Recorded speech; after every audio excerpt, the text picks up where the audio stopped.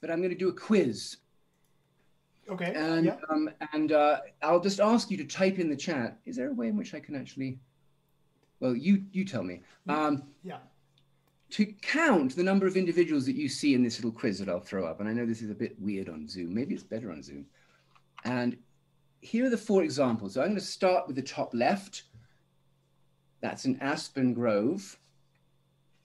Would anyone care to tell me how many aspen they, are ca- they could count on my little computer screen? Just give it a stab.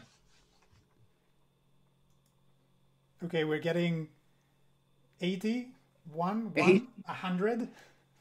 All right. 80, 100. Did, did anyone say one? Someone said one? Yeah, several ones. Then 256, 2, Okay. 53, That's good. Okay, 300. just hold, hold the thought. Isn't nice because we're actually doing the nice dichotomization that I'd hoped for? How about down the lower left, that sort of rather august looking? Uh, how many individuals do you see there? Unanimous one. A unanimous one. Okay. What about the top right? The ants.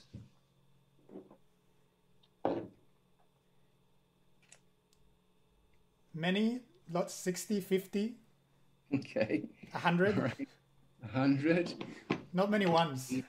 Not many ones, right. Okay. And then the lower right. How about that one? The nice, beautiful Portuguese man of war. Many ones. Many ones. Almost unanimous. Okay. again. Yes. and again, a consensus there on those. So I'm going to throw up some numbers here. So um, the correct answers, and actually this notion of correctness we can debate, is either in the hundreds or two.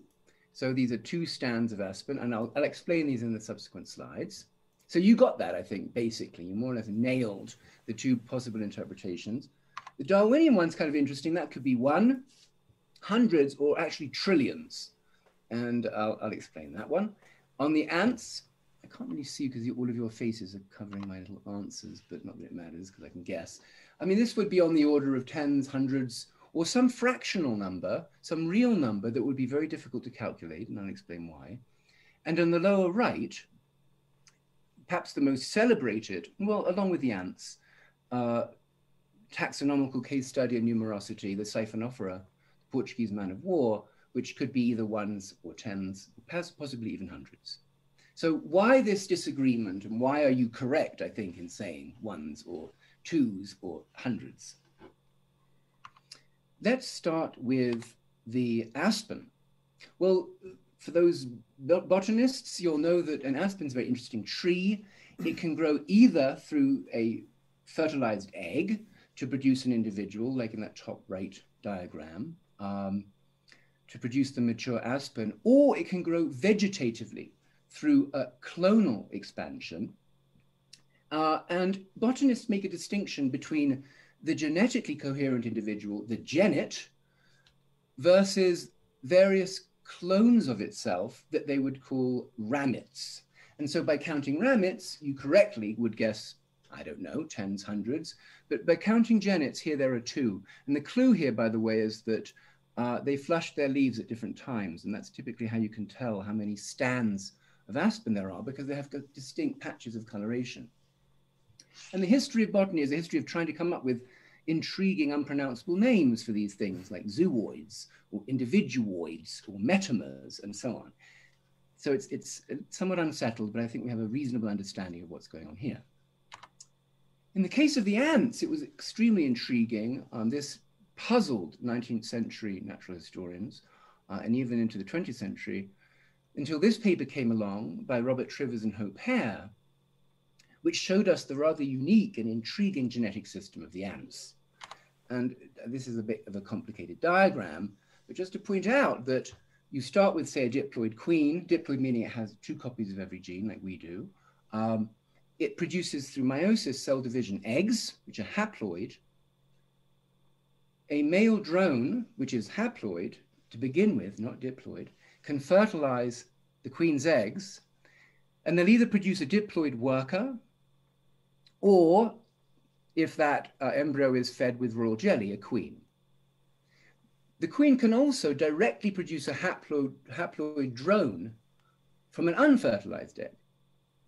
And it gets more and more complicated. And the consequence of this strange system of chromosomal segregation and fertilization is you get weird uh, coefficients of relatedness. They're not like ours, where full siblings are a half. You get sisters related to a sister with three quarters, sons to their mothers with one, mothers to their sons with a half. They're even asymmetric, these coefficients of relatedness. So when we're counting the individuals, you have to do the calculus, if you like, over these strange relatednesses. So you get fractional numbers of individuals that would be invisible if you just looked at the material ants. Darwin, I say one or hundreds or trillions because now we know that Darwin is a symbiotic network of organisms, him and his bacterial uh, microbiome. It's not visible to the eye, but without it, he would be dead. None of us could live without the metabolic byproducts of a microbiome. And that was only very recently discovered. And it, I just sort of think how horrified someone like Thomas Aquinas would have been to realize that he was actually largely microbial. So that's another example. We're actually a symbiotic organism. Um, we're not a single genetic uh, organism. And finally, this one, the siphonophore, the Portuguese man of war. It's not a jellyfish, it's a slightly different kind of uh, creature. And this is actually a very celebrated case. Stephen Jay Gould actually wrote about this one quite beautifully, with Louis Agassiz being so enamored of them that he thought of them as floating cities. Uh, he, he described them as polypersons, they're this ultimate harmonious society. Thomas Henry Huxley, Darwin's bulldog, had uh, actually this more or less just slightly later than Darwin took his own expedition on HMS Rattlesnake, which was quite fitting, I think, for his character. And he wrote one of his great treatises called the, um, I think, Oceanic Hydrozoa, where he actually, in some sense, demystifies it and says they're just polyorganic. They're, it's a bit like a human body, and things that you thought were individuals were just organs. It's really a part of the ongoing skirmish between the French and the English speaking world. And Haeckel tried to mediate by referring to them as colonial organisms and actually wrote a book where he argued in a sort of um, pre Hayek style that this was the right model for a decentralized, self organized society. We would now see the siphonophore rather the way we see aspens, as essentially all of its parts are like ramets, but it does derive from a single fertilized egg. But that was an interesting argument that went on forever.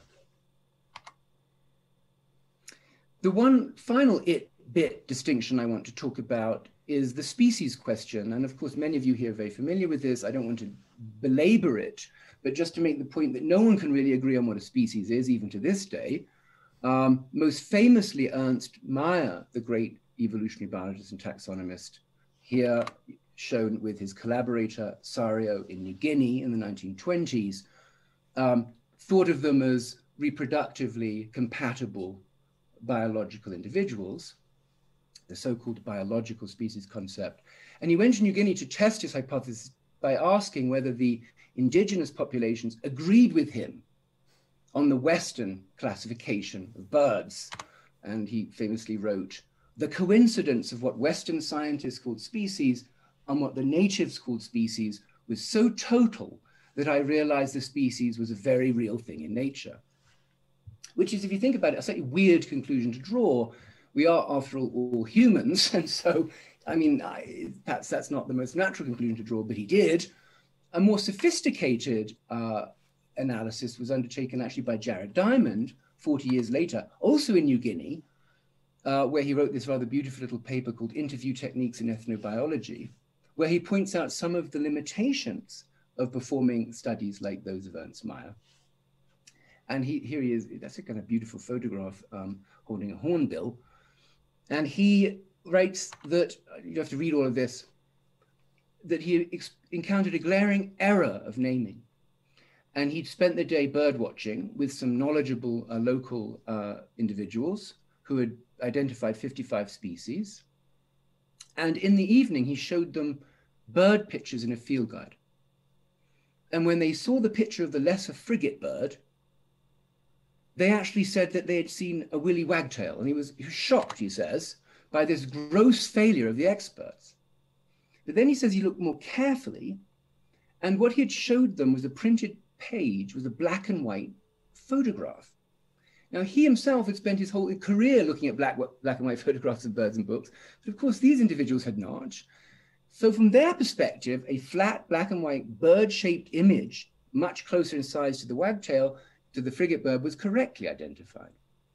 Which gets at this really fundamental question of your background knowledge when it comes to counting the natural world. One useful way of pointing out what's been going on in all of these examples comes from uh, a metaphor with thermodynamics. In thermodynamics, we think about intensive properties, pressure, density, the boiling point, melting point, and all of these are independent of the scale of the system, of its mass. You don't change the boiling point of water by having more water? As opposed to extensive properties which scale, mass, volume, entropy, Gibbs energy, and so on. And Informational quantities, bit-like quantities, are by and large intensive. The genet, the genome, the species, these are intensive. Whereas the ramet, the body or the population size are extensive. And many of those disputes that I showed you, that you, I think, correctly identified in our quiz, come from whether you're looking at the intensive variables, the it-like variables, or the extensive material variables, the it-like variables.